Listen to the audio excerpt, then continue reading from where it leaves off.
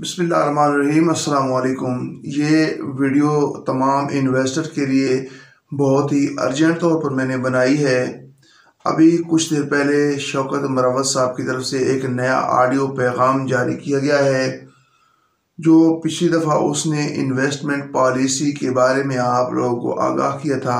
इस पैगाम के अंदर उन्होंने उस पॉलिसी की वजाहत की है, जो कि खासी ख़तरनाक लगती है। शौकत मरवत साहब का कहना था कि हर दूसरा बंदा हमें यही कह रहा है कि हमें बोनस भी दें और हमारे पैसे भी हमें वापस किए जाएँ। तो अब हमने ये सोचा है कि हम किसी को एक रुपया भी वापस नहीं करेंगे।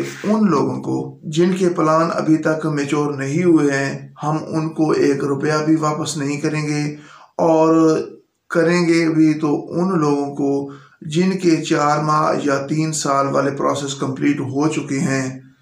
उनको हम वापस करेंगे और वो भी पहले उन्होंने कहा था कि 20 फ़ीसद काट कर अब वो कह रहे हैं कि 20 से 25 फ़ीसद।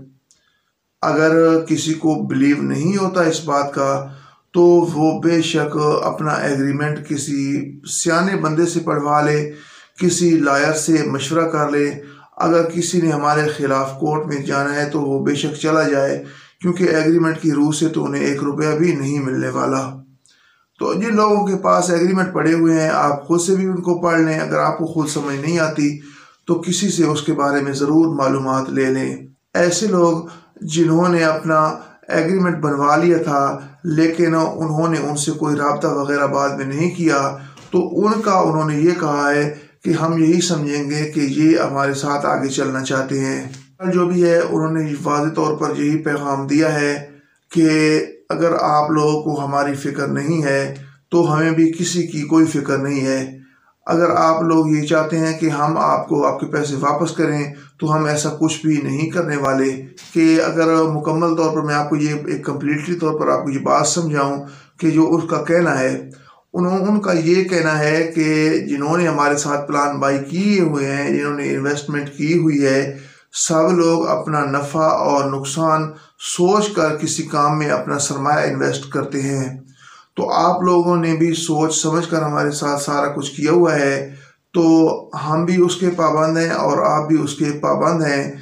जितना एग्रीमेंट हो चुका है तो हम उसी के मुताबिक ही चलेंगे। अगर किसी के पैसे बनते हैं तो हम उनको देंगे। अगर किसी के नहीं बनते तो हम उसको एक रुपया भी नहीं देंगे। और जिनके पैसे बनते हैं तो हम उनको देंगे, वैसे ही देंगे जैसा एग्रीमेंट में लिखा हुआ है। तो जिन दोस्तों के पास एग्रीमेंट है, वो ज़रा गौर से उसको पढ़ भी लें।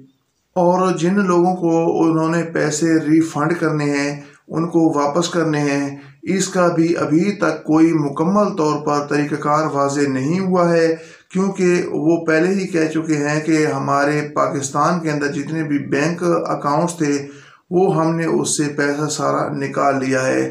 तो अब देखते हैं कि अल्लाह ही जाने कि वो जिन लोगों को पैसे वापस करते हैं, वो कैसे करते हैं। ये तो आने वाला वक्त ही बताएगा।